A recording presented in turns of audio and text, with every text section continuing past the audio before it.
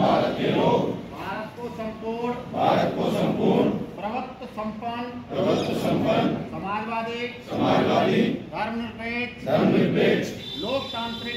लोकतांत्रिक। गणराज्य बनाने के लिए। गणराज्य बनाने के लिए। उसके समस्त। उसके समस्त। नागरिकों को। नागरिकों को। सामाजिक। सामाजिक। आर्थिक। आर्थिक। और राजनीतिक न्याय। और राजनीतिक न्याय। विचार। विचार। अभिव्यक्ति। अभिव्यक्ति।